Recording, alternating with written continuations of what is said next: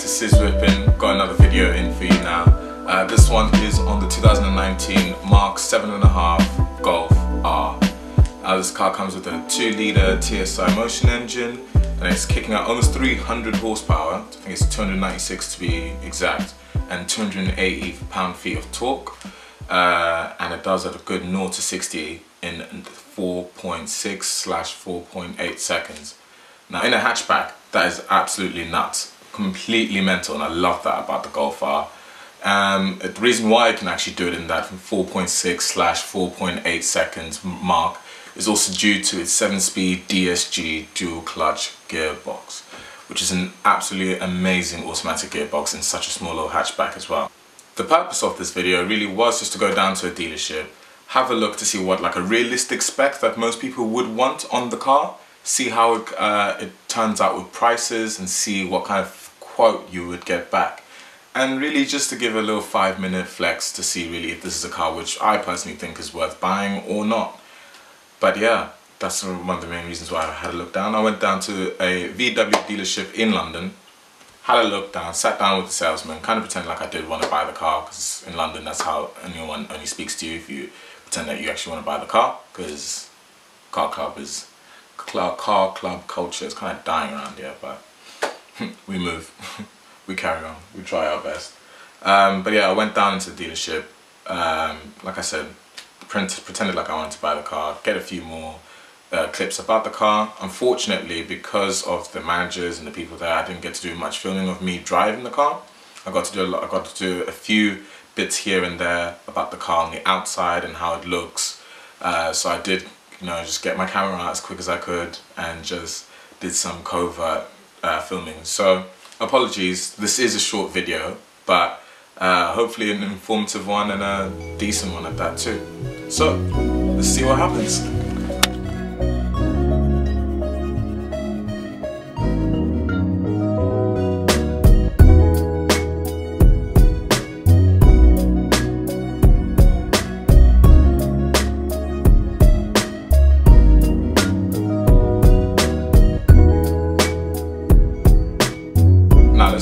Pricing on the Golf R.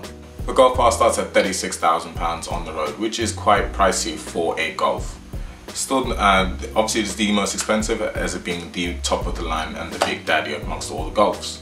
Now, it's not 36,000 because once you start wanting to put a few more of the extras in that almost everyone's going to want to get, um, give or take a few here, what, I, what I've put on, it then starts to creep up into the 40s, which is really, in my opinion, kind of almost like entry-level sports car kind of money. So you're hoping you're getting a lot out of this with your money. Well, let's run through the options of what I have put on and I'll tell you the total price and the breakdown of everything that I uh, added on to the total price of the car. First things first, I started with the color, the exterior color of the car. I went for an Oryx White, which is 995 pounds. For the alloy wheels, I went for the Spielberg alloy wheels, which are the 19 inch ones, because it comes with an 18 inch, which are okay, but there are 19 inch options. The Spielbergs were 810 pound option.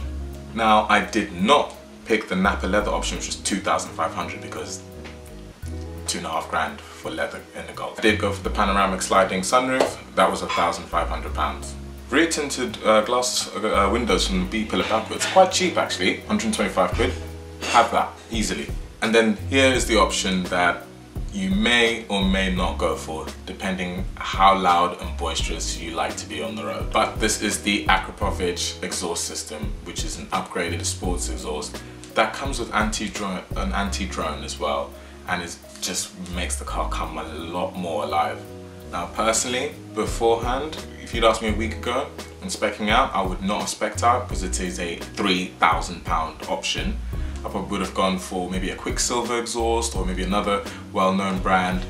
But ever since Luke Papworth, aka Hampshire Photography, uh, managed to put a, a second-hand Akrapovic exhaust system on his Golf R, it completely transformed the car, making it just a, a whole new car. The cracks, the pops, the bangs, everything, the upshift, how violent it sounds, even the downshift, and the fact that it's, it's got its anti-drone and, and non-res delete is just amazing. Like once you put it back into normal mode, it was just a normal cruiser, highway cruiser, as the Golf always has been.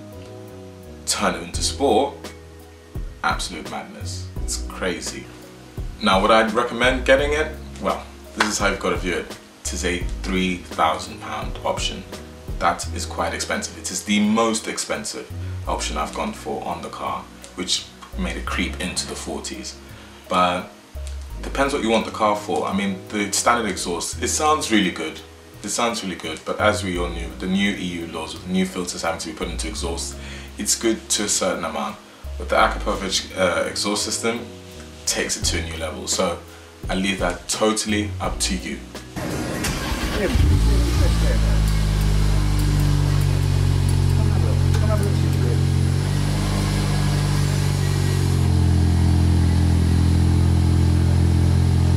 out of all the option lists, from standard, I've actually only added five options onto the car. That is the exterior paint, the the upgraded wheels into 19 inch wheels, the Akrapovic exhaust system, the rear what's it the rear uh, windows being tinted and the panoramic sunroof.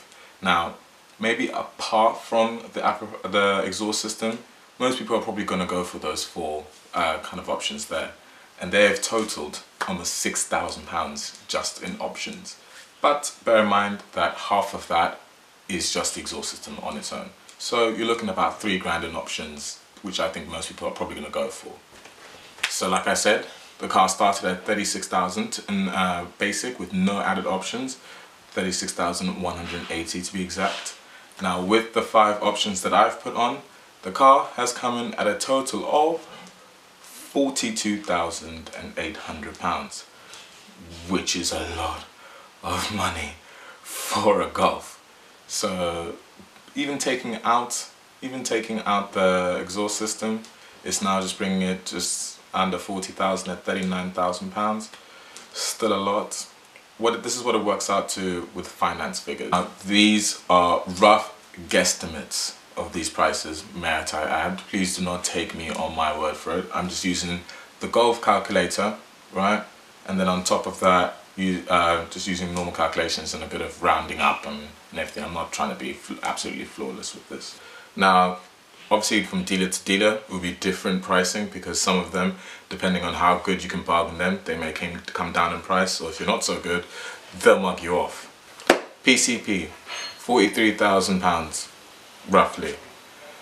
Let's go on the fact that you'll probably have to give in a 10% uh, deposit of the car, so about 4,200 slash 300 pounds. Uh, I'm leaving room for about a, a 14,000 slash 14,500 balloon payment, could be higher, so don't quote me on this.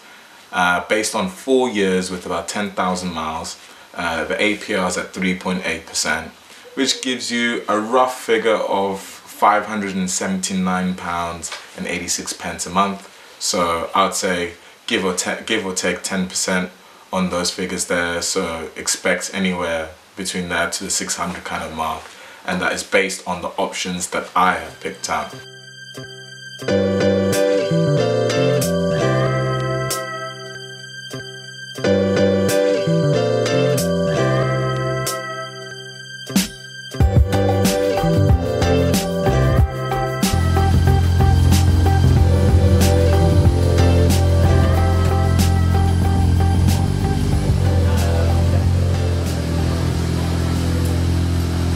Moving on to the, the exterior and the interior of the Golf R and see what we think about it a bit more.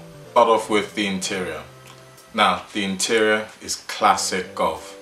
Well put together, very neat, very trim, and very just useful. Just very something that's an everyday, not too flashy, but not feeling like it's crap inside. Is the best way to describe how this Golf looks inside. The Mark 7.5 comes with the latest Golf interior and latest Golf infotainment system. It is not the Premium Plus that uh, you can upgrade and up, uh, upgrade up to. That's an additional £1,500 as well to consider. But you do get a wider screen and a few more toys and everything like that. In my personal opinion, having experienced both, I mean, if you've got the money, go for it, upgrade it, but you're not missing out terribly to, uh, in my opinion, of if you don't have the Premium Plus info infotainment system. But yeah, I really like the interior of the Golf R. It's actually really comfortable to sit in. The driver's seats give you like really good cushioning. They're really comfortable. I can see myself doing long motorway miles in it. And when I'm doing a bit more enthusiastic driving, I feel decently supported to be fair. I'm not exactly the tallest person, I'm about six foot one, but even in my position, sat in the front, I could get into the rear and I didn't have the biggest amount of leg room, but it was it was very decent, especially for a hatchback. And this is what we forget that VW and the Golf are just so good at. They're good at making a small car, well, it's not that small, but making a hatchback extremely, extremely practical and very livable for people to be, to have and use every single day. Now, the exterior. The one thing I love about the Golf R is just the subtle lines, the subtle creases, and just how it really looks like it's a sleeper. It doesn't, you wouldn't pull, a lot of people who don't know much about cars, may pull up to it at, at a red light, and you may look over and be like, well, nice wheels on that, well, it's just a Golf. Meanwhile, put into launch control, launch it, and you would be left behind. Cause Join me as we're about to take a test drive in the Golf R. See what it does.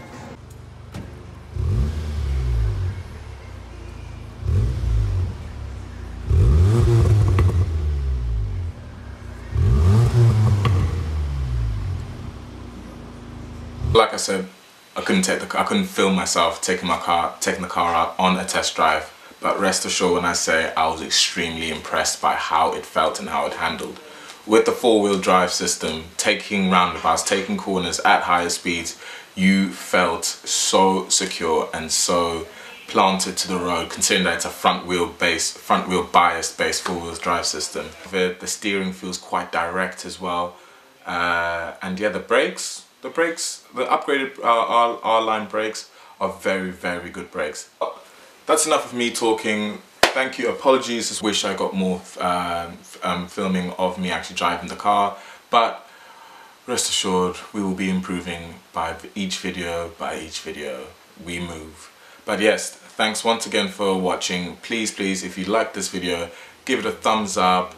Uh, make sure that you're subscribed, hit the notification bell, share this video with your friends and family if you think it's any good or any decent. Um, follow us on uh, Instagram and that is at SizWhippin', the same spelling as the YouTube channel. Uh, stay tuned, stay logged. Peace and love, thanks for watching and uh,